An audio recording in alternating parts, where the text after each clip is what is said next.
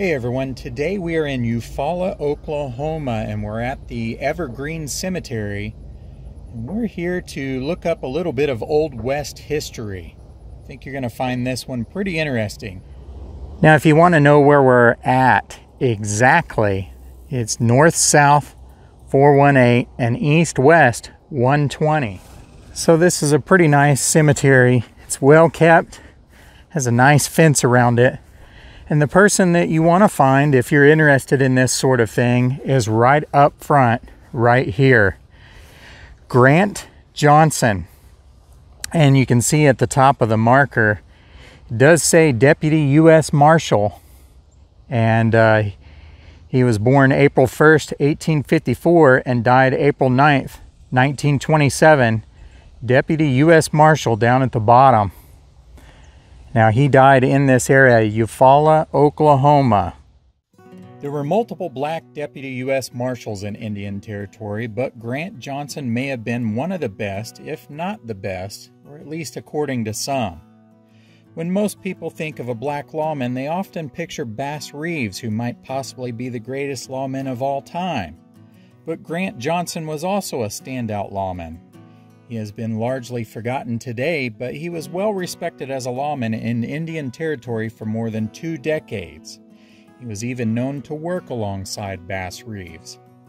The exact location of where Grant was born is unknown, but it was somewhere in northern Texas in 1854 in the middle of slavery.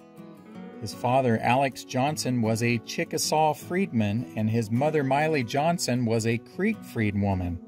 Now, Grant was indeed African American, but he was also noted as having strong Native American features.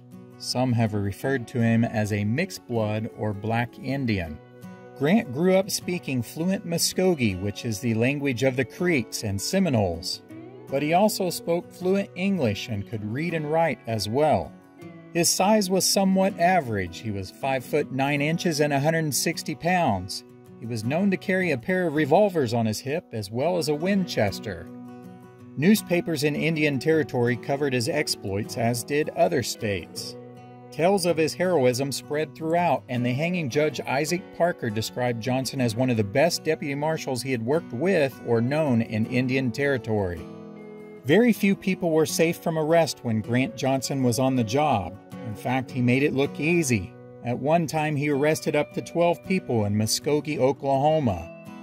He only killed about three men, and it was only because he had to. It was not something that he looked forward to doing.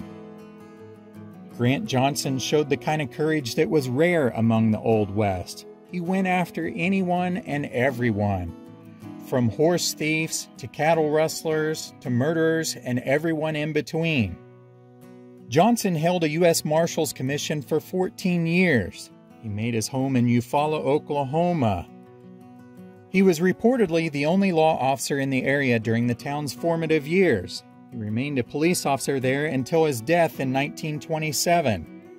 Many people of the area praised him of his courage and touted him as the best lawman there ever was. Regardless, he was well respected by everyone and he had many friends among all the races in the area. So this was just a short video about an important lawman, and I really feel that he should be more well known than what he is. But if you're ever in the Lake Eufaula area, whether you're vacationing or you have a cabin here or whatever, stop on by this cemetery and pay your respect to an important lawman in Oklahoma history. Thanks for watching, and we'll see you guys next time.